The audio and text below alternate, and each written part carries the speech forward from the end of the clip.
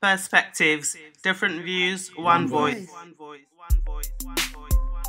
All right, so welcome to the LDN Perspective. Uh, this is another episode we're doing. Thank you all for joining us. I'm your host Mo, and I'm also joined here by my friends and my brothers, Kojo. Oh, sorry, sorry, mate, I'm Kojo. sorry, I forgot that. I've got myself on mute. Yeah, you've also got Cam here. And Ali. So, in today's episode, our question is Is it our duty to educate people on racism? Um, and the reason why also, we've left it as people because it's not just white people, it could be Asian people or anyone that's non black into the whole racism issue. Um, and also, when we're talking about racism, we are including the structural racism as well in that definition. So it's anything that can inhibit our access to finance, education, wealth, or resources. So with me, I reckon that it is our duty to educate people on racism. And, and the main reason why I feel that is because I feel if we leave something as important as this in the hands of others, it's either not done correctly or um, it's not done to the standard in which we want. So, for example, we've had many opportunities in terms of the government creating some kind of group um, to find out in terms of racism. Like in the last five years, I know the government have set up some kind of formal group, and in each of them, they haven't actually carried out any recommendations. And I do believe, in terms of his story, if you're leaving someone else to educate our community, then they're not really going to do it the justice in which we want or how we feel it should be done. Um, so yeah, I kind of just want to leave it open to you guys. Let me know what you think. Um, uh, I think Kojo, you definitely wanted to come in and mention something in terms of how you feel about this and what your reasons are.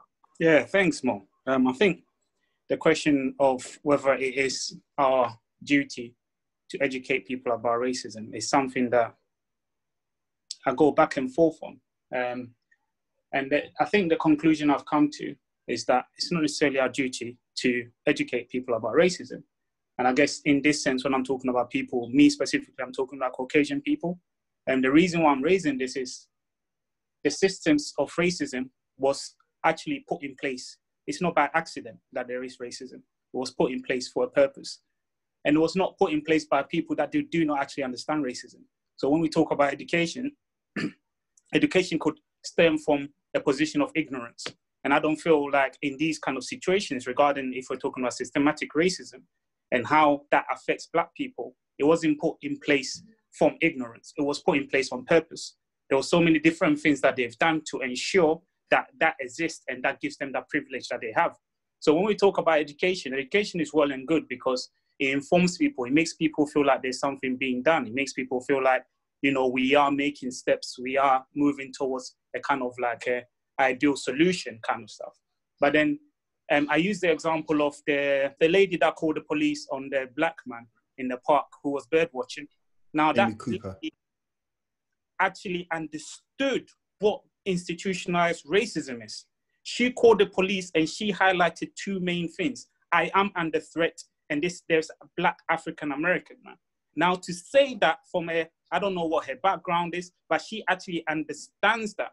You don't necessarily need to educate this woman about her privilege because she actually understands the institution that's been set up and how that benefits her. Hence the reason why I'm more on the angle of it's not necessarily education because they actually know about this racism and the systems that they've set in place. I think I'd like to leave it here just to hear what everyone else has to say on this. I guess so. Yeah, the question is: Is our duty to educate people on racism?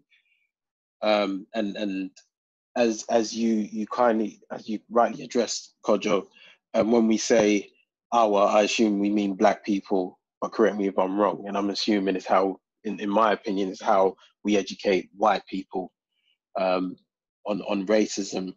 And w- when when this question was raised, I, I sort of had to look at it in a practical sense. And what does educating people on racism look like? Because I guess you've got it on a macro level and you've got it on a micro level.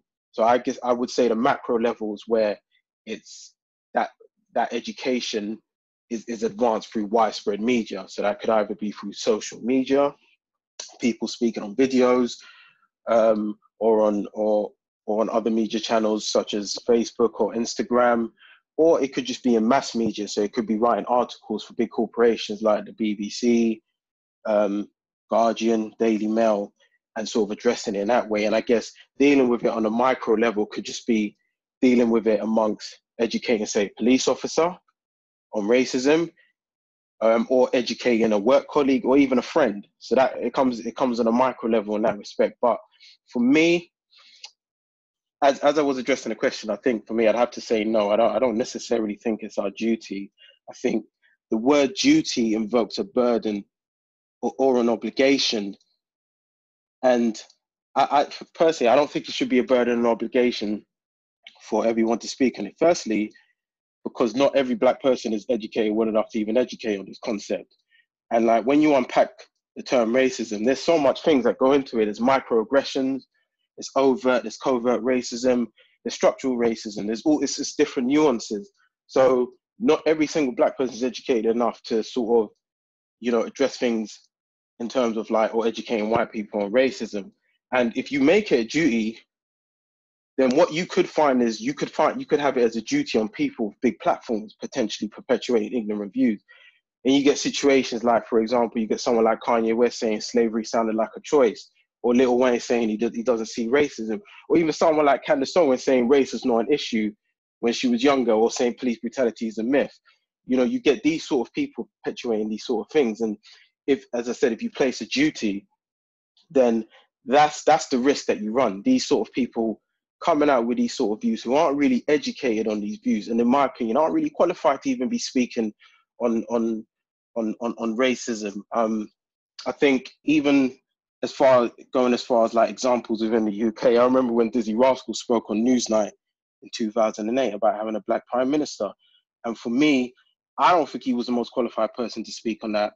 But you might say because of the platform he has, um, it, it might be worth imposing a duty on him because he's able to speak out and his opinion might mean something. But that doesn't mean he's got the right opinion to be to be advancing on that particular topic.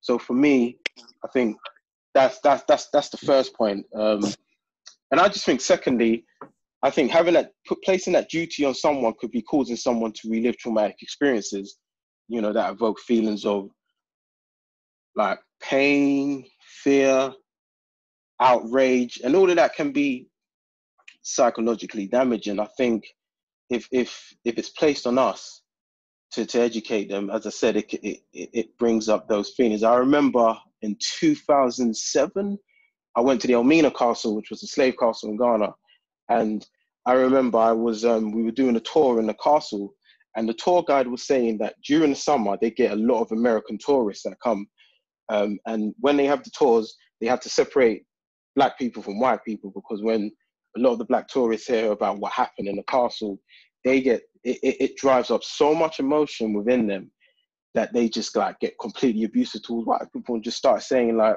the worst things you can think of because at that particular point is evoking those sort of emotions. And as a and I just feel like because of those things I, I don't think it would be right for it to be a duty. I think it's important to teach these sort of things because I think it's key that um, education is put forward on the things I spoke about in terms of microaggressions, overt, covert racism, and structural racism. But that needs to be done by people who are qualified to speak on this, people who understand what they're talking about, people that can identify certain situations. Because I guess the argument you could say is, if you don't say anything, then you're then you're you know you're part of. You know, not educating could mean you're becoming part of the problem and not the solution. But in some cases, by speaking, you could become part of the problem because you could perpetuate ignorant views anyway. So sometimes speaking up doesn't necessarily help. Um, but that's just that's just like some of the opinions I've come to as a result of like initial thoughts with this. Hold on, I did um, want to follow on from what you're saying, Cam, um, just to bring you back in. Um, I think if we here collectively today accept that it's not something that we expect from everyone as a duty, because um, I think that would be highly ridiculous and unachievable. But let's say there are particular individuals, um, And I'll give you an example. There's that guy, I'm not sure if everyone here has seen him, Emmanuel Acho. He's got a, uh, a YouTube series where it's an uncomfortable conversation with a black man. And I feel something like that, in especially in the way he articulates himself and explaining the different dynamics, especially even talking to the family and the young child of um, does he fear white people? And he compares it to him being cautious uh, and, and, the relationship being similar to water and uh, electricity.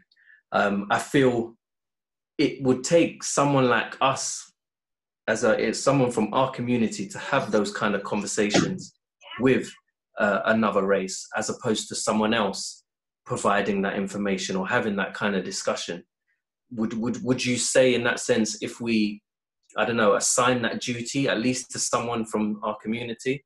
Yeah, I, I agree. I think I think if it's assigned to someone from the community who, who who's qualified to speak on it, I think that that definitely makes sense. You look back as far as like um, 1960s America, and you had that burden bestowed upon people like Martin Luther King and Malcolm X. They were they had that duty to speak on those sort of issues. Even going forward, yeah, you know, to the 90s, you had Al Sharpton. You, there were people that were qualified to speak on those issues.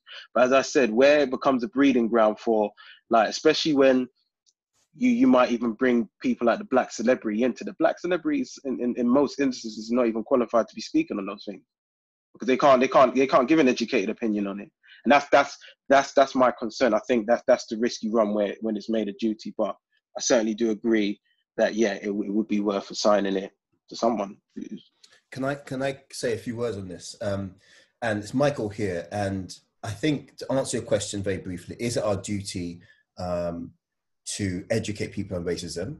No. Um, the duty lies on the British government uh, because apparently they have something called British values, which mean that we meant to aspire to democracy, rule of law, individual liberty, uh, mutual respect, tolerance of those people with different faiths and beliefs. Now, um, if that's what the British government is saying are values, uh, then I think it's not our job to be explaining to people what racism is because the racism police should come in um, and be, you know, sorting all that out. Now, obviously, that's not the case. That is definitely not the case because you have, you have black people being abused by police in this country. There have been about 1,900 deaths in police custody since the 1990s. Um, so there is there there is no no one is taking up this this systematic um, and state sanctioned uh, uh, attack or resolution on racism. What I will say is that it's in our interest if we become experts on African history, but also on Black and African culture. Because once we become experts in that, and you know, again, if Dizzee Rascal knew two two bars and it was on new on Newsnight, he could have dropped a couple of lyrics and then rapped to the end. Do you see what I'm saying? And people said calm breath. But my guy just came on there. Exactly, exactly. That's what I'm saying. Like my man was coming on the news and like I'm telling you, it was um, if there was ever a representation of Black Britain, that was the worst. The worst. And he was half Ghanaian, bro. Half Ghanaian. He let the Ghana side down, bro. this is my point, and this, this is what I'm saying. So it's not our duty to be, we shouldn't be demonstrating as victims of racism. We shouldn't be having to wear our, our, our, our scars and show, say, people, look at our scars of racism. No. What needs to happen is that we need to be, it's in our interest for people to know that racism exists, but the way we do it is by basically being masters of, of our culture, of our history. And then, and then it means that, listen, when it comes to racism, you're like, but bruv, let me drop two lyrics. You know what I'm saying? You tell me mathematics started in Greece. I don't think so. About 1,500 years before Thales and Pythagoras, Maz in Egypt was doing, was, doing, was doing geometry, was doing algebra. So what are you talking about, monkey? Huh? Who's monkey? Bruv, can you count? Two, two bars. You see what I'm saying? Keep it moving. So that's what I'm saying. I think we need to start being advocates of our history, yeah, rather than trying to always say, look at me, I've been hurt, I've been hurt, because that kind of system never goes anywhere. Do you know what I'm saying? It's yep. the, the victim, like imagine this. This is the, if you do, if you watch the Epstein um, documentary on Netflix, yeah, how are victims of mass rape going to the government to say, listen, can you please arrest this guy because he's raping people. That doesn't make sense. Apparently, we, we live in a world where there's rule of law. That does not make sense, but it happens. You see what I'm saying? So we have to be understand how the system works and navigate from that point of view.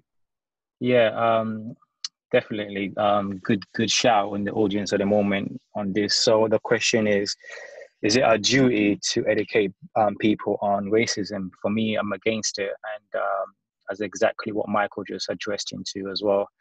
Um, definitely for me, no. And um, for me, part of learning is about opening yourself up to people and experience and seeking to understand, right? So people should learn to seek. It shouldn't be up to us primarily. So what I meant by that, it shouldn't be us as a black to be educating any part of um, whether it's white, whether it's Chinese, whether it's Indian, it shouldn't be because as what Kojo just addressed into it, the they already knew what their agenda was regarding race. They already knew what they wanted to do. So it's not about ignorance at all. It's about knowing what they want to get out of it. And obviously the the results and the result what it is still going on and it is still happening. So and another thing as well, I'm gonna add into this as well. My second point is analogy. So the reason why I'm breaking it down like this is like, as a young man like me, I've got a child, or we have a child, or we have a nephew or, or, or niece or whatsoever. What you want to do as that as that person, you want to educate that that young child to grow up. So you will give them all, you would teach them all what you know as a person to he or she. But you will think to yourself, right? Everything that you've known, you're going to teach that person, he or she, right? When they grow up, they're going to take exactly what you've told them or what you've taught them. It's not the it's not the case because they don't want. It's not everything that you will tell them or you teach them that they're going to observe, um, observe in. They're not going to do that. They're going to take selective. They're going to be selective, and the selective side of what they're going to take is what they feel is convenience for them. So the reason why I'm giving that analogy is exactly like um, teaching or teaching um, white people or whatever other race about racism because we will give them everything that we have, give them all our ideas and so on. But at the same time, they will say, no, what? It's not relevant. That is not my problem. That's not what I want. You know, I'm going to take what I feel that is right out of that and yes, so within that sense, it will be feeling a burden. So that means every black person that walks around the road or in across the street or in in in a corporation or any part of of society will feel like okay when they see racism they have to teach that person oh that is wrong that is racism. No it's, it's actually a lot of things burden for us alone because we've got our own issue we've got our own problem. And as a as a black person we'll be through a lot so we want to learn what we need to do so I feel like the question is definitely no, it's not our duty. Yeah, I mean, I, I, I hear what you're saying, but I feel like, let's say, like for example, of us educating ourselves, knowing our full history, whatever, and then we correct someone else that says something wrong. Aren't we now still taking on that duty of educating someone else? It's one of them ones.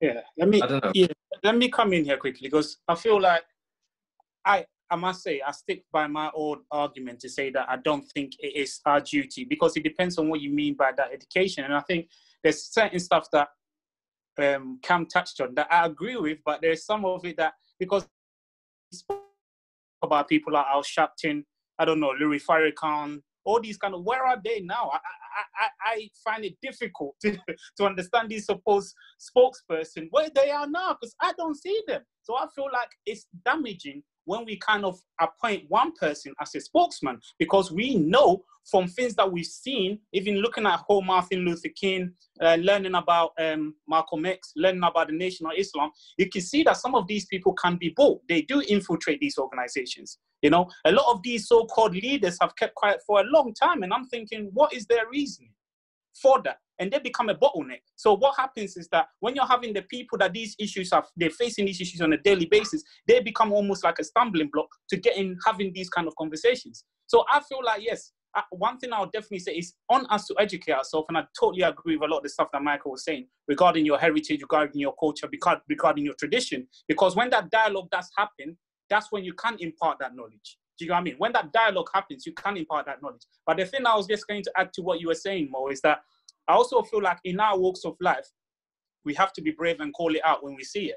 And I feel like that's that's a bit different from the kind of like the mantra that we have that we need to go around educating people. That YouTube video about um, uncomfortable conversations with a black man. Why are you having these uncomfortable conversations? It's very interesting, don't get me wrong, and it's very intriguing and he's quite articulate. So I wouldn't mind someone like that talking because he doesn't know what he's talking about. Do you know what I mean? But then I feel like sometimes that becomes a stumbling block, and I feel like it's on us regarding our walks of life to educate people when those dialogue does happen. Because a lot of times, I'm not sure what kind of environments you guys work in, but people are uncomfortable having conversations. White people are very, very, very uncomfortable having those conversations. And there will be times where you bring it up and they don't even want to talk about it. So, so you can't say that it's on you to educate them when they don't even want to have that dialogue in the first place. Do you know what I mean? So I just have to then circle back to a lot of the stuff that Michael was saying, just regarding what the whole kind of UK stands for the whole ideology of democracy that you go into other countries and you topple those economies because they're not democratic, because people are being oppressed. Are you having a laugh? It makes no sense to me. It's an oxymoron. It doesn't make sense. But then on your own backyard, you can't fix your problems. You don't want to deal with it. Come on. Jump in. Um, just to follow up on the point Kojo was making. Um, I agree with the premises, like um, everything you said, but I don't think I agree with the conclusion that it's not um, on us to educate people. I think I would phrase my answer to the question differently.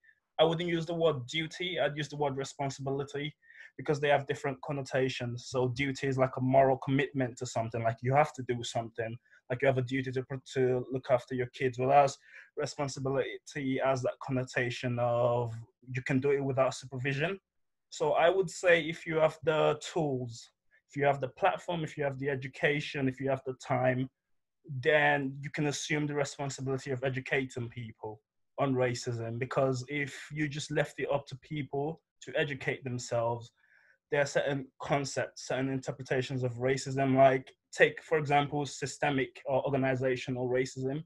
Some people don't or let's say let's use the word discrimination. So take the word systemic discrimination. Some people black and white don't believe that exists. They just believe in the concept of interpersonal discrimination. So racism, as in you don't like black people, you don't like Jewish people, etc. They don't believe the way things are structured. There can be disparities which affect a certain group of people. Now, it's not like it's not because they're stubborn or obstinate. It's just because they haven't had someone explain those concepts to us. I mean, to to to them. So, if you're familiar with this concept, if you've done the reading, if you have the data to back it up, and you happen to be in a context where you have the, the opportunity is right for you to explain it to a group of people, say to your friends on Facebook or to, if you're in the thread on the Facebook, whatever. I'm, I'm not on Facebook, so um, I, I probably wouldn't be in that situation. Um, I think you do have a responsibility, you know. Um, it's like, what's that Spider-Man quote? Uh, with great power comes great responsibility. So it's not a duty. Spider-Man doesn't have a duty to save people but he assumes the responsibility of doing so. So I think it sort of, if we're trying to create a more equal world for black people, for any other minority, then we can't just sit on the sidelines, you know, and expect people to educate themselves on this matters. So I do think we don't have a duty, we do have responsibility to do. Right. Can I can I say something? Yeah, and and this is to make it very clear. Like there is no such thing as race. Like when you say black white people, it doesn't exist. Like it really doesn't exist. Man, them in the 17th century thought, you know what? Yeah, you look, you are darker than me. By the way, also just just highlighting, like if you look at the ancient Greece, which is meant to be the foundation of European civilization, there were black people there. What made you Greek was not your color of your skin; it was the fact you could speak Greek or which city city state you were from. So this concept of black and white is a myth; it doesn't exist. Now, if you want to look at cultural difference, now we can talk. So I think we need to be careful that we have created a system whereby it's like me saying, if you've got blue eyes, you are intellectually a genius. That's a lie. And we've built up a system, a whole system for 400 years that has made this lie into reality. Now, we have to understand racism. Racism is the actions or the belief that this fake system exists, and therefore I'm going to act and build structures that will stop my guys with brown eyes from succeeding. That's what it is. So it's either you play the game or you don't. And what does racism really, um, uh, how does it really impact us? It is one, you go to work and they say, bruv, uh, you've got brown eyes. But just to say, you're a waste man, yeah? And therefore, I'm not going to give you a promotion because you got because you got you got brown eyes. Now, it can be my duty to educate you about the pyramids, about Monomotapa, uh, but that's not going to keep my job. Racism is the, the, the, the power plus the privilege. Do you see what I'm saying?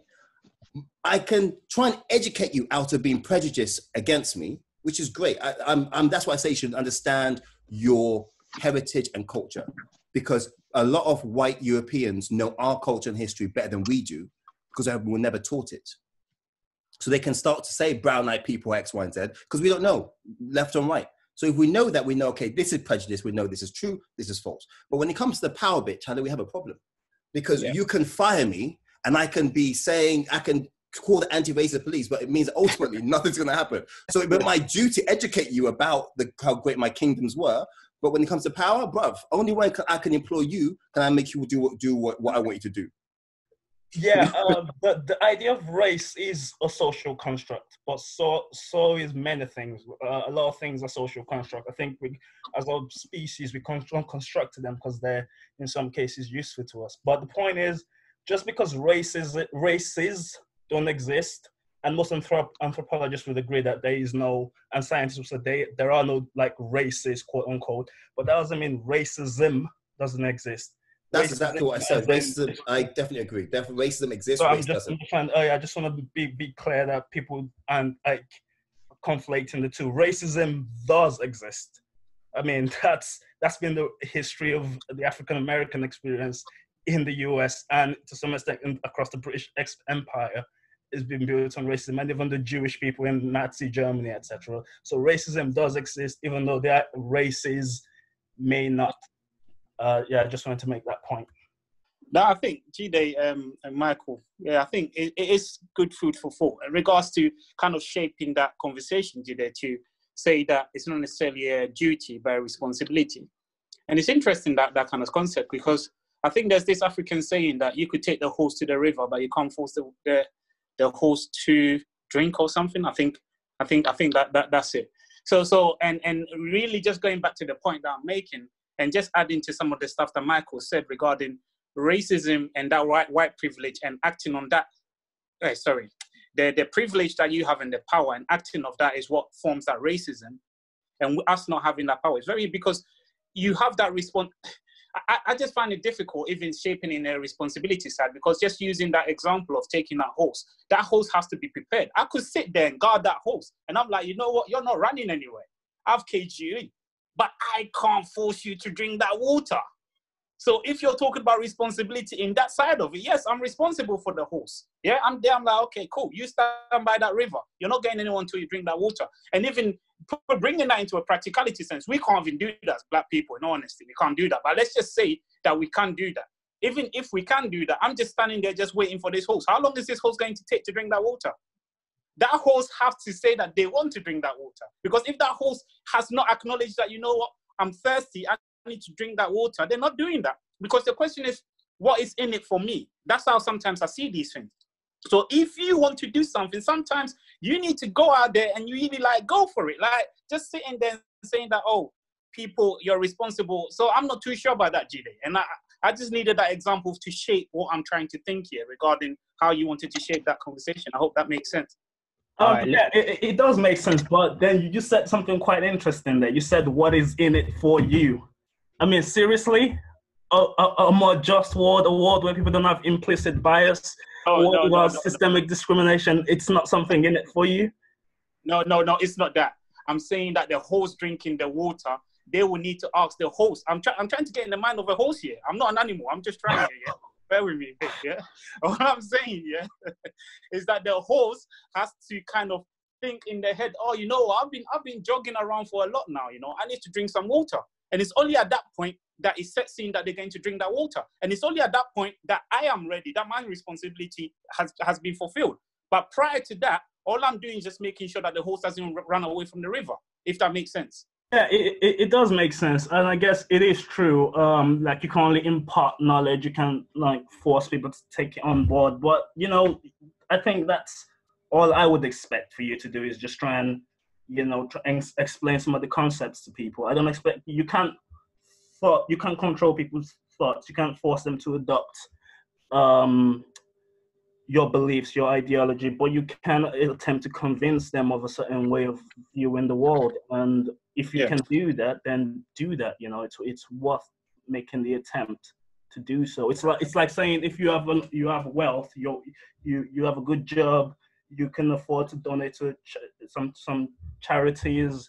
Just because you don't know that the money is going to a certain place or is going to make people's lives better doesn't mean you shouldn't, you know, donate to charity if you can. So, um, so I think that'll be an, another a, a counter analogy, if you will, to the Um, taking horse to the river. Yeah. Julia, wh- why why did you use the terms responsibility? Why did you not say it's as a duty? Do you want to break that down, please? Yeah, because uh, duty has legal connotations, um, and and even it has philosophical and legal connotations. So it's like it tends to me like a moral commitment. Like if you don't do it, then you're doing something. You're acting immorally. Whereas responsibility is, uh, and also there's also this implication of supervision. Like there's someone towering over you, like the state or something is like if you don't do it then you'll have to answer to them or maybe even if it's a religious duty if you don't do it you're gonna have to answer to god whereas uh responsibility you can act uh, of your own free will and the only person you have to answer to is your own conscience so that's that's i mean it's a semantic distinction because some people will say they do mean the same but duty tends uh, maybe it's because of what, what i do for, for for a living. Um, that my as soon as you say the word duty, I think of um, it in a legal sense as a, a sort of legal responsibility. And, and and just to add quickly before Mo kind of moves on, I know Mo's screwing me right now, mate. I'm sorry, Mo. But just to add quickly, when we talk about this whole education, whether it's a responsibility of duty, then we have to, then we have almost kind of agreed that they are ignorant or they do not understand what they're doing. Yeah, and, and, and that's the point. Why I don't I don't accept that because they are not ignorant. This thing didn't just come from nowhere and all of a sudden black people find themselves in this situation. There's historical facts. You know, Michael's gone through some of them. Mate, so we can't then all of a sudden be like, oh, we're this enlightened black people that we want to go around educating white people about the systemic racism that benefits them. I can't come on. That that that for me doesn't even make much sense, in honesty. I mean, most people would agree that like things like hating black people is wrong, but that's not the problem we're facing as, as a society today. Like the that kind of racism is not what we're having to deal with. We're having to deal with, with structural racism. You know, disparities like things like stop and search, uh, the overrepresentation of black people in prison, the criminal justice system. Those studies that show that juries tend to come down harder on black defendants than they do on white defendants those things aren't perceived as racism by like the working class, average working class white people. They just see racism as um, when a white person refuses to hire a black person because they're black, or when a white person calls a black person the N word. And I'm just using uh, the relationship between black and white people in this situation. Like it could apply across other ethnic groups, but that's how people perceive racism. So I think you there are nuances in racism that you have to you, you just have to educate people about it because they don't think it exists. Some people think martin luther king ended racism and just now we're, we're just complaining about nothing. We, we will just never be happy. So um and yeah being ignorant is not a bad is, isn't an immoral thing. It's not a sin to be ignorant. You just don't have the access to the education a lot of the people in this cause have had. So uh, you know you have that privilege, if if you will. So you know, pay it forward, pass it on, and try and make the world a better place if you can. That that's all. You don't. It doesn't even require that much from from us. You know, it doesn't. It's not too much of an ask to just educate people if we can. Yeah, no, um, I, I, I do definitely agree in terms of the, the the identifying of the word duty and responsibility. Um, and then even in the whole responsibility aspect, I know Kojo was saying how the whole ignorance of white people, as in they don't know or anything like that. Um, I'm not sure if you guys have seen the Channel 4 episode where there's this school that tried to end racism. And it basically goes to a group of kids in year seven, and they basically try to talk to them and tell them the difference between. Uh, no, they basically separate them into different groups of white affiliation, black affiliation, and they talk about racism and how it is in society. And from watching that, I could see how these are, in especially the white young kids, that they've literally grown up completely unaware, ignorant to the systemic racism and the racism that goes on around them and their other peers in their classroom might be experiencing. And then there's also the aspect of how the white kids have had to have their childhood, uh, they've had the liberty or the freedom to continue having their childhood, whereas the other black kids or the Asian kids, because of experiencing racism and, and, and seeing it, they, they've lost their innocence a lot sooner or their childhood a lot sooner than their other white counterparts. And I feel, in terms of the whole education side again, there are generally some white people out there, as crazy as it may seem, that maybe because of the privilege that they're around, they've not had the personal onus or the, the thinking to think, oh, you know what, let me look into this, let me look further into racism because it has no effect on me or in, or in my life. I wouldn't really be, in the word, responsible enough to look into this myself. So then, could you, as another black person, feel that responsibility to help them? But I'm, I'm specifically talking about a white person or another ethnic group that wants to engage with you and know more about racism and institutional racism. So this isn't someone that doesn't want to know. This is someone that actually wants to know. I, was going to just add in to, on top of what you said, Mo. Um, it's not even necessarily directly answering your question, but it's speaking about that show, the school that tried to end racism, because um, what what I saw from one of the experiences of one of the one of the one of the white kids is that his parents at home they taught him or they said to him that they just basically said to him he shouldn't discriminate against another person based on their race and, and it was left at that and that was it. And i remember in a conversation we had a few weeks ago i said that i was educated in the uk and i remember when i went to primary school and secondary school i wasn't taught anything about black about about black history or even like the issues that stem from when it manifested into structural racism and that sort of stuff. I wasn't taught about that, and I had white kids in the same class who who who who weren't taught about it. So if they're not learning it from school, and they're not being taught that stuff at home, then they're they're inevitably going to be ignorant. That's that's that's not even a surprise there. So a lot of this has to start from um, education, as, as I said, within the schools, because as I said, that young boy who whose parents said he shouldn't see race, he's going to be ignorant that's not really his fault. Um, he, it's just it's just what he's been socialized to and what he's been taught. I, I think what's interesting is it, it, depends where you are in the country, but I, I don't really buy it um, because I have I've traveled a lot, like in, in either for my work or whatever it is. I've gone to different countries and whatever, and I always see this concept of of anti-blackness be it in Mississippi, be it in, in the UK, be it in New York, be it in Mauritania, be it in Madagascar, be it in Egypt. There's a common concept of anti blackness. Someone's teaching this stuff. Where's it coming from? That's my point. Like, if we're saying you don't know, bruv, where's it coming from? That's my question. Yeah? And this is my point. You can say la da da, I don't know, but that's a choice not to know.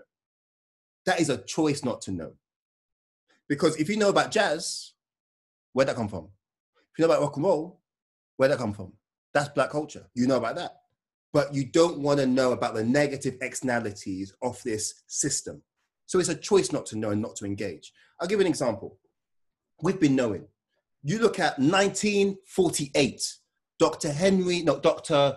Dr. Charles, was it Dr. Kenneth Clark? Dr. Kenneth Clark, American guy, did something called the doll test, where he took a five year old black child a five year old white child. Put a doll, black doll, white doll. Tell me what doll is beautiful. Tell me what doll is ugly. Tell me what doll is naughty. Tell me what doll is nice. But they did this this experiment. I think in the UK they did it in I want to say two maybe early 2000s or late 1990s. Yeah, the stats were the same from 1948 to 2008. Nothing's changed. Everything the black doll was bad, the black doll was ugly, rat-a-tat, rat-a-tat. So my point is, yes, I don't see race. Yes, oh, I didn't know. Okay, you don't know.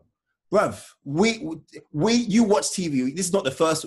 Brixton had riots. Notting Hill had riots. What, what are they writing, writing about? But we, we like, you choose not to know. It's a piece of action. That's what I'm saying. Last thing I'll say is there's a quote that um, Edmund uh, Burke said. He said, The only thing necessary for triumph to evil is good men to do nothing. It's very convenient when good men don't do nothing. They, they don't know. You know. Let's be real. Just, just, just, just, just, to quickly follow on from what you described. Can I come in? I, I want to say that. something. There, yeah, is Hey, called heat it up. unconscious bias, isn't it? Yeah, exactly. Everything you mentioned there is unconscious bias. Unconscious bias is not actually a choice. I'm not sure if you're aware. Hmm. Hmm. Okay. That, that, that's that's why I wanted. That's why I wanted to chime in on because I just wanted to say like I, I don't necessarily agree with the fact that it's a choice. You make a choice not to know because I feel like, as you said, Mo, it come it does come across as say unconscious bias. You could even use like stuff like you could use stuff like even like music, like for example, like rappers or artists using the word nigger in a song. Some people are hearing that word being used consistently. They might not know the history behind that. They might not because they haven't because it's it's, it's, it's a socially accepted term that's used in music, and so they may not necessarily see see a need to even look or even try and like work out what that's to do with. And one on one say on one one hand you could say there's a there's a certain level of ignorance behind it, but I, I don't think it's a choice not to know. I think I think how how it's how it's presented in a social setting in terms of like commercial music and that sort of stuff, I think it gives them there- there's no reason for them to look at the history behind the word because of how it's used. There is no value in knowing. That's my point. There is, there is no there's no value. So if I'll give you an example, um, if you have a pain on your side, it's hurting. It's not too bad, not causing you real pain, but it's a little. Ooh, where'd you go? You go doctor in it. You unconsciously know something's wrong. You might feel, but not feeling yourself. You go doctor to find out.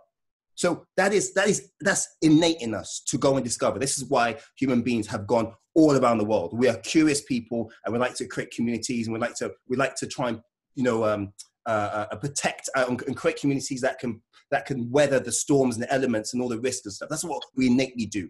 So all I'm saying is this: unconscious or conscious, you know, you feel, oh, something's not right. But the thing is, there's no value in knowing. Society doesn't value you knowing about Black history. Society doesn't value you knowing that to treat Black people bad because ultimately, whether you treat them good or bad, there's no reward. There's no sanction either. That's why my guy, the police officer, put his hand. Listen, when I was in school and they say, take your hands out your pockets, bro.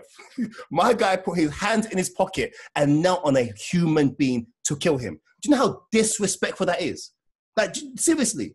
Do you know how disrespectful? All I'm saying is whether the conscious, the conscious is now is the subconscious, unconscious, subconscious is now conscious. Everyone knows it. You were saying you watch TV, everyone's got a TV. You what you got internet. You, you know. So why go on now in it? Explain that. Didn't you spot the irony in you quoting that Edmund Burke, that Edmund Burke line? Didn't you notice the you saw the only thing necessary for triumph of evil is for good men to do nothing. Now you're using that against um, white people who don't educate themselves against racism, but that could equally apply to black people who don't educate white. I never said white. I said I, I- absolutely, and this is my point: is that even the black, and that's why I said I have unconscious bias. And let me No, tell you, no, about my, I don't. Let me, as a black person, I I am and was racist to black people. No, it's Facts. Do you know why? Because I was that. educated that way. So I had to go and I'd find my subconscious and say, "Hey, there's something going on here. Let me become conscious and act correctly." Do you see what I'm saying? So It's I'm saying about- that it's not. It's not about. I'm saying if you have the tools to educate someone on racism, if you don't do that, then racism will continue to spread from one generation to another. So you're you're sort of you're fulfilling the the the the point of that quote from Edmund Burke applies in this situation as well as in that. I disagree. I tell. Uh, uh, could you what's coming? Could you what's hey, coming? I've been listening to this conversation, and I think I think maybe the pain, I think maybe from the standpoint that you guys are coming from, and just using the analogy that uh, Michael uh, used regarding having a pain, you know, if I have a pain, let's say, I don't know, Michael's my oppressor, and I have that pain. Maybe what you guys are saying is that I have that pain, and I need to let Michael know to understand the pain that I have so he feels sorry for me in order for him to stop oppressing me. I think maybe that's what you guys are saying here. Yeah? And, and, maybe you guys could answer me later. Let me let me continue anyway. So when, when we're talking about when, when, we just delve down into this thing a bit more, because for me it's always coming from the sense of ignorance. And I'm telling you that this has been designed on purpose. It's almost like I am inventing something. I've invented something, right? I don't know how many years later. Then I go to Mo. Mo, can you explain to me how I invented this thing? What do I mean? Do, I, do you need to explain to me? I invented it in the first place. I should know how I invented it. What? You should not tell me how I invented my own kind of bloody system. That doesn't make any sense. Guys, understand what you're saying here. Let's not talk from a point of ignorance. I do fully understand what is being said that if you are in a position to educate, you should.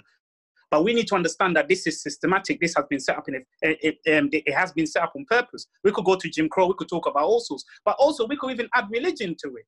And you could add religion to it. And you, the, the craziness about religion that you have this white Jesus right? You have a depiction of white Jesus, blue eyes, blonde hair. Like, but then the Bible that these so-called people read doesn't even depict him as this characteristic. So you told me, why did they do that then? Tell me why they did that. It's because of white supremacy, white privilege. It was done on purpose. Let's not, I think having this conversation from a point of ignorance, that's disturbing because all, all the history and everything will point you to the direction that this has been done on purpose. If you look at what Boris Johnson, Boris Johnson's response to the systematic racism in this country, to the murder of, of, of, of an African American in America was let us have a review of a review of a review. Now, he knows. My guy went to Oxford. He knows. He went. He he knows. So that's my point. Is that ignorance is a choice, yeah, and and playing the fool and ignorant is a choice, and that's exactly why I use that quote because a lot of a lot of white people may not always see it, yeah. Of them, it's like what Karam, uh, Kareem Abdul-Jabbar said. He was basically saying that racism is like dust in the air. It seems invisible, even if you're choking on it, until the light, until the, the sunlight lets it in or hits it. Then you see the dust in your room. Exactly what, what, what, what he said. Now, that is a perfect example of what the enlightenment that racism has had. You've had, you've had Chinese people attacking Africans. Okay, that's interesting. That's in China. Why are they Africans? Then you have my, my girl, Karen, with the, the dog, Amy Cooper, yeah, who apparently was voting and helping Clinton, a progressive, yeah she says, Hey, a black man is telling me what to do. It cannot happen. And then she went to kill her dog and she went to call the police and went into a bush and was screaming. Then you had the impact of, of police of, of police getting involved, which is death. Then you have the suspicion of you can be someone who is, you know, playing by the rules. Your door gets knocked hit, not uh, kicked down, and you get shot in your bed, like Breonna Taylor. So what I'm saying is, we are now in a situation where I'm sorry, you know. You can't be Pusha T. Pusha T said, if you know, you know. Now you know. So this thing of subconscious, I'm conscious, you are conscious now. What are you going to do about it? And if you don't do something, then you're saying, uh-huh, actually, it benefits me as a man to see my women not getting the same uh, pay as me. Because guess what? It means I can take more pay. so I'm going to let the system until I have a daughter. And then I'll be singing my sign, singing we should have equality for women. Nah, bruv, you can't play both sides. That's my point. There are many books, there are many podcasts. We have we have Google, we have um, Amazon, we have Facebooks, plural, and you're telling me that you don't know? Fam, you know. Can I can I add into this quickly? Yeah, um, Jide, I wanted to raise your point when you when you quote um, "ignorant isn't a sin." Would you can you kindly elaborate into that? Because when you mention ignorant isn't a sin, it's kind of hurt my feeling in that sense because when you're saying that is because the Western, for example, they've got the privilege to educate themselves. And then you've got part of the continent, Africa or Asia, they don't have the privilege to educate themselves. So when a white person or the Western have the, the privilege to educate themselves, and then on top of that, they insulting, on top of that, they are being racist. So how would you justify that? If you don't mind elaborating to that. Okay, um, a few problems with it. Uh, you're making a couple of assumptions here, which I think are highly pro- problematic. First, you're assuming like um, every just I guess it kind of goes back to a, problem I really have with the Black Lives Matter movement is this and the idea of white pri- privilege, the idea that uh, by virtue of being white, you're just you have the best things in life. So I think you're making that mistake right now by just assuming just because you're white, you can educate yourself on matters of race or systemic race, structural races. Some people, especially people up north of England, are just that that area of England was decimated by the policies of Margaret Thatcher and John Major, etc., that came after. So um, they don't have um like for instance data shows that a lot of them don't go to university they drop out with very few G, few gcse's they start working blue collar jobs do you think people like that have time to sit on wikipedia and start reading about the transatlantic atlantic slave trade the birmingham marches you know the civil rights act movement and all that stuff they haven't got time to, to, read about that they haven't got that the class that they're poor they're they're dirt poor so a lot of them don't have time to educate themselves on these sort of issues, and it's from one generation to the next. Your your father hasn't got your neither your father your mother has gone to university. They both work blue collar jobs. They're barely making ends meet. They're making under twenty grand a, a year, and then so on and so on and so forth. And it's a tragic thing, and that's why I don't think it's it's more of a tragedy than a sin so if um Jide, Jide, sorry, so Jide, Jide, yeah. Jide, I think you're you're you're not understanding my point. I'm elaborating into the ignorant side. Right? Yeah, West, Western, we, we, yeah, what, what I'm trying to say, yeah, Western world, right? They've got the tools to educate themselves. They are saying they are, they've done so many histories. They know what they're doing. They are writing so many books. So they've explored. You've got the great, you've got the British Empire. So that alone, they should understand about racism because they don't want that starting all the revolution, right? That's what I'm getting into. And then you've got part of the Africans and you've got part of the other Asian side of the continent, right? They don't have those kind of great uh, power or empire. So mm-hmm. therefore, would you not say that the British Empire, because they've had that empire, would you not say that the ignorance isn't a sin that it is kind of contradicting yourself because they should, by law and by right, they should understand what they are doing because as what Kojo just point into, there is a system that they have inbred and it's a system that they started it from start. So when you're mentioning ignorant isn't a sin, all of us as a human being, we don't want to be associating ourselves with ignorant. We want to be saying that we're very intelligent creatures. So for you to use that statement, I find that really not good as me as a human being to say that. Um, um, Jide, just before you oh, respond, just before you respond. I just let you guys know we are rounding off soon, yeah. So we're closing off in a minute. There's just been a few messages in a group chat, man. Maybe I should hmm. go to some of them. Um, someone is really calling for you to apologize, Joe Massa. Just apologize. Let's move on. someone asked a question here to say, you guys are trying to understand white people when we need to be questioning them. So are we trying to understand white people because we can't understand white people because I guess we're not white? Is that what we're trying to do here when we're talking about duty or responsibility to educate? Yeah, no, I'm just saying it's, it's, it's completely opposite. The main thing is getting them to understand us, not the other way around. Um, but just to follow on in terms of what Jide was saying, um, I think when he's talking about ignorance, he's talking about the mass general public every time you guys are saying, oh, doing these books and whatever, whatever, you're talking about the top level, the ones that are setting up all the institutions, whatever. But in terms of the people you are going to encounter every day and stuff like that, there is that general ignorance. I think that's what he was kind of following on in that sense, if I'm right. No, I don't. Yes, I, yes, don't yes. I, don't accept that. You're right, Mo. Thank you. say no more. Thank you. Uh, uh, someone's disagree. saving their skin, mate. Uh, let's do this. I'm the one that's made the chair. Wait, wait, wait. Let's get Michael to come in. Let's get Ali to come in. Um, Ladipo, did you want to come in before I let them come in? Because I know you just mentioned a comment here. Oh, I'm just saying, like, I feel like we're making the whole thing a bit overcomplicated. I'm here, I've been listening the whole time. I don't think it's that deep in that sense. I feel like at the same time, we just need to clock that. Look, they're white, we're black. If we look to our own peers, we don't even know about our own selves to the degree that we can come to someone and say, oh, you know what? You need to do. They can look at us and be like, what? Who are you? Who are you to tell me? And I, one thing I've clocked as well, we're in their environment. Like it's it's not we're not playing by our rules. Like it's it's their techers.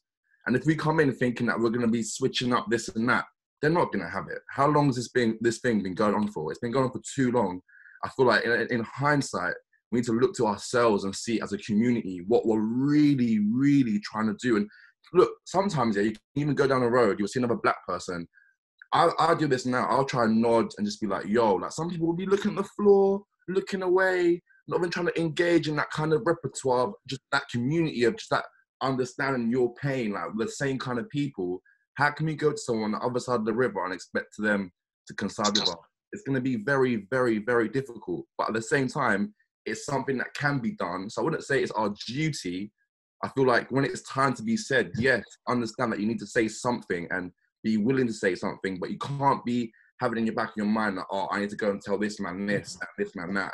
Or you're gonna be tired. You're gonna be you're gonna be wasting your own time and own energy. I feel like you need to concentrate on your own self. So I feel like to bring real change, you've got to have some form of integrity. And I feel like as a black community, sometimes we lack that, and they take advantage of that, and they try to then do pass, and then they come to the media, they come with all this stuff, and then other white people will see that and be like, you know what, that's so true because I've seen a conglomerate of them act in a certain way so then that unconscious bias will then be like all black people are in that box, and then it's a never-ending cycle.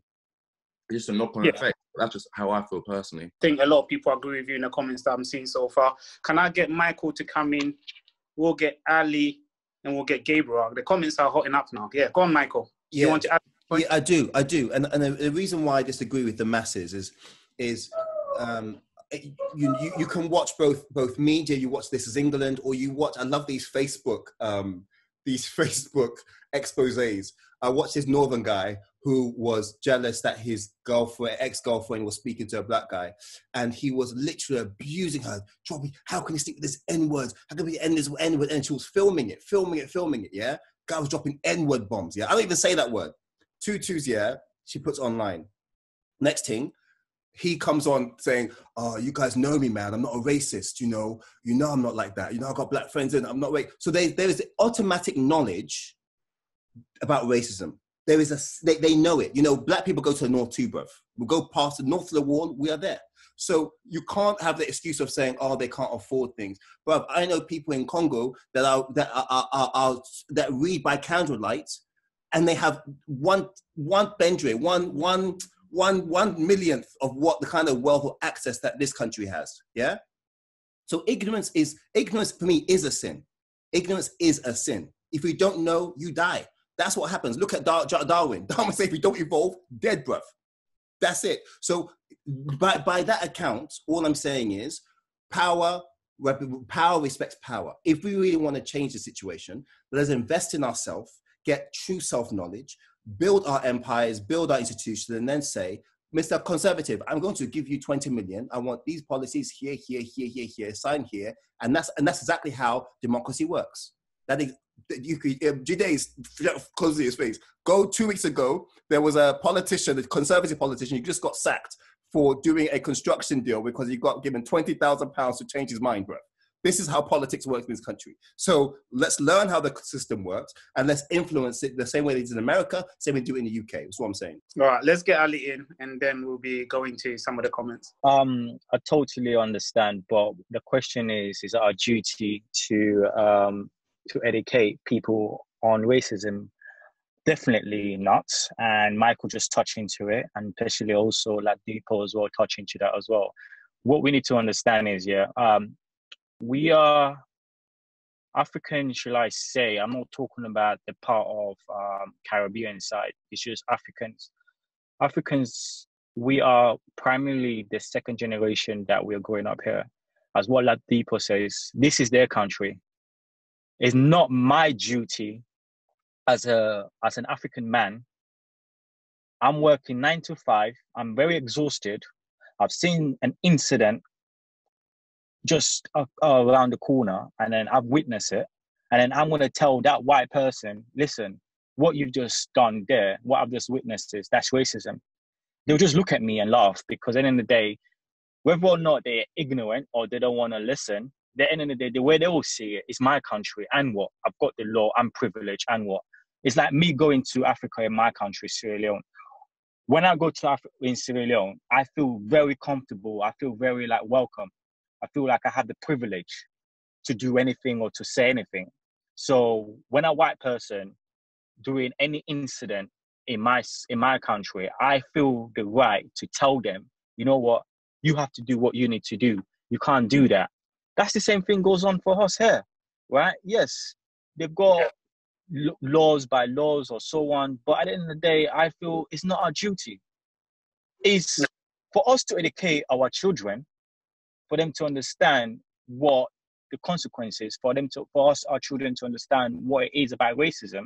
We need to do that. It's our own duty. But I don't feel like it's our own duty to educate another child or another person that is, is a growing man. It can be my uncle, my dad, my whatever.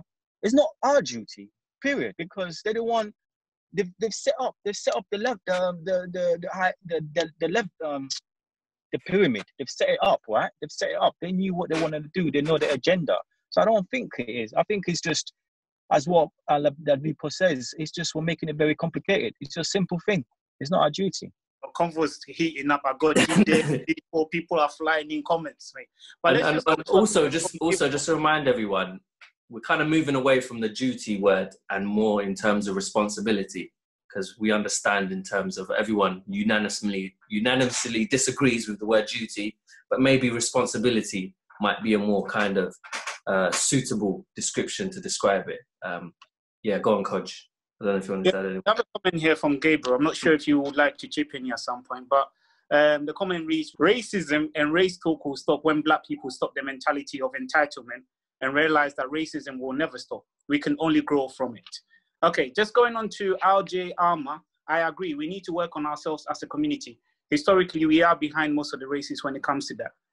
Um, and I've got no name. No name wanted to add to this. Um, no name when you're you ready to chip in at this point? Yeah. I just wanted to say a couple things really quickly. Um, so basically, obviously, we've established uh, duty versus responsibility. Um, I think that's just a game semantics. I understand that um, Jide said that he feels that it's different, but I think in a wider understanding of people, most people feel that duty and responsibility are pretty much the same thing. I have a duty to make sure that my child has food and is well fed and looked after in the same way that I have a responsibility to keep him alive. So for me, I would say no. Um, also, in terms of, I'm trying to go quick because I know time's going. Um, I feel like we're talking a lot about like racism and like instances of racism and maybe personal experiences and structural racism. But I think that one of the biggest things that we are missing is that we actually need to focus on dismantling the system of white supremacy. Everything goes back to and falls back on the benchmark of white supremacy. Supremacy it is the growth of the disease that is racism, and it is the growth of the disease that is the class deprivation between people. Because I heard someone talking about, oh, but the white people in the north. Yes, what you have to understand is that race and class are so deeply woven and interlinked within this country specifically that sometimes people can turn to that argument. But really, the problem that we're dealing with is white supremacy. We do not have time at the moment to be worrying about poor white people in the north of England. Yeah. Although ultimately we can come to a time in a more just world where we can fight together. Yeah. But I kind of feel like it's not about um, class here. This is this is the argument that's come out the argument has that has come out is about how do we dismantle white supremacy? It is in our language, it is in our food, it is in our education, it is in our preferences, it is in our dreams, it is in our fantasies, it's in the way that we speak, the way we view ourselves. And it's not a country by country thing, it's a worldwide thing. So this idea of white supremacy, if you think of um, the, the, the British Empire conquering over a hundred countries, yeah, and spreading this, this disease of white supremacy as a tool for them to use and abuse, rape, and, and dehumanize people. we're not talking about individual instances of racism. We're not talking about just, uh, uh, you know, semantics. We're talking about how we view ourselves, how the world views ourselves on a deeper, deeper level. It is in everything. And if we really want to tackle racism, what you really want to be saying is we need to dismantle white supremacy. That's kind of just what I want to say. I really do like what Michael was saying in terms of us educating ourselves and understanding our history. Um, I know Michael's got an organization that does exactly that. So I just wanted to give him a literal quick two minutes if you can just tell everyone about that, um, put in a message, a link, or how they can find the details and stuff like that. And Sure, then- sure, sure, sure, sure. Thank you so much, man. Appreciate it. Um, so I'm I run an organization called a tribe called Progress because what it basically says is that all the divisions that we usually put on blackness, I am Christian versus Muslim versus Igbo versus Gaon versus Ashanti, it hasn't got us anywhere. What we need to be focused on is progress and, and, and commit to that. So um, every year we do about two or three courses on Black history, but also Black progression.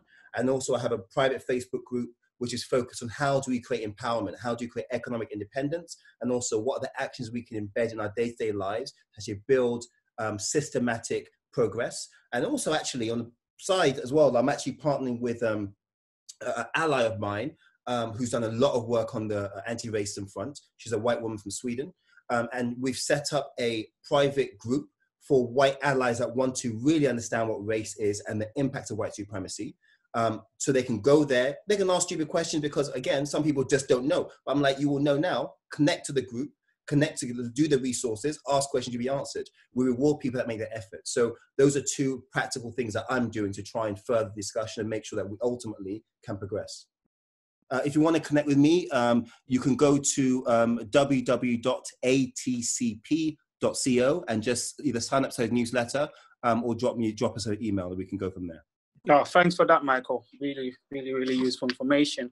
Um, I know we have Audrey listening. Yeah, I've been listening intently. It's been a really, really d- good discussion. Um, I have to say, I completely agree with everything No, Na- no Name said earlier, the woman that spoke before. Um, I, I just completely agree with her sentiments. I don't actually really have anything to add to that. I think before we can think about doing anything, yeah, it's a system. It's the system that needs to come down. And without dismantling the system of white suprem- supremacist patriarchy, we really, there's very little we can do to move forward. Um, I've always said for me personally, I'm tired of teaching white people about racism. I just want to propel us forward as a race. And how can we empower ourselves so that ultimately we're not relying on white people so much? And I think that that's part of our problem is that we have. Um, we we almost beg for them to see our humanity. And i personally am tired of it. I think i probably speak for most people when i say that. Do you know what i mean? And it's just like i think i just came to the realization a long time ago that i don't think white people ever see the humanity in us. And so what can we do? I just feel like empowerment is is the way forward personally. Oh, excellent, excellent. Thumbs up. I hope you saw that. Um, I'm seeing I'm seeing gunshots from people on there. Um, Mo, I know time is against us, so if you want to wrap up, this would be a good time. I know Jide G Day is crying in the background. Jide wants to come in so much.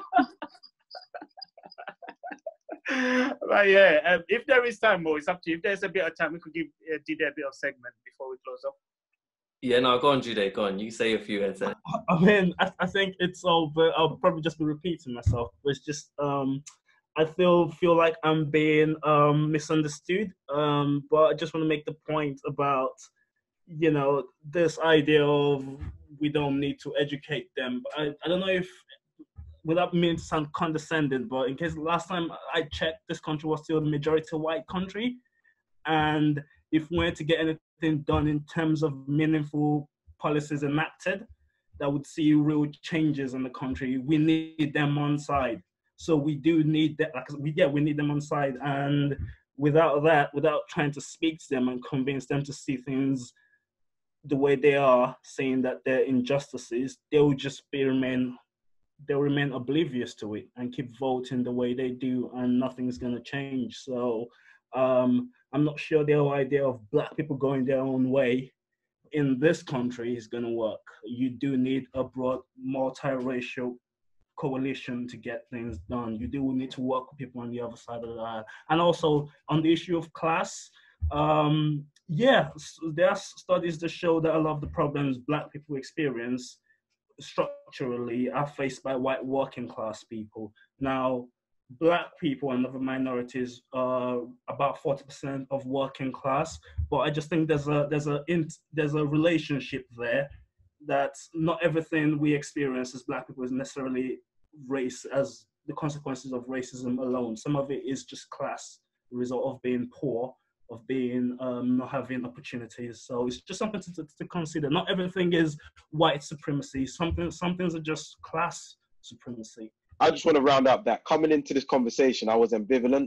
I wasn't entirely sure where I stood on the spectrum, and I said, yeah, I didn't necessarily think we needed to have a duty.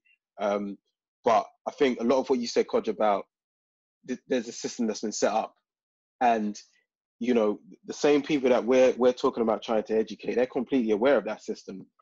But then obviously people have also spoken in the conversation about dismant- dismantling that system. But I also agree with what Jide was saying because what you need to understand is it is a yeah, you can dismantle the white the system of white supremacy, but what you need to understand, we're in a country where the majority are white. So in terms of being able to enact any real form of change, dismantling the system is not going to happen in this country. That's just not going to happen because it, it doesn't benefit the majority, if, if, if, so to speak. So it's about trying to, it's, tr- it's about trying to, as, as Jide said, trying to find a coalition of people on our side that are able to sort of help enact or negotiate some form of change. For me, how I would conclude is I reckon, personally, um, I think that. Ali, everyone, maybe let me go. Let me go while you cover your thoughts because Michael just put something on here that man said bleaching. You're just. Should I go? I, am ready to just wrap up. Yeah, go, go, go, go. Thank you for listening to the LDN Perspective. Please come and continue this conversation with us on our social media platform Instagram at LDN Perspective could also get hold of us on Twitter, Perspective at LDN. Please like, share, and subscribe to our YouTube page, which is LDN Perspective. Once again, thank you for listening. Goodbye. Perspectives, different views, one, one voice. One voice. One voice. One voice.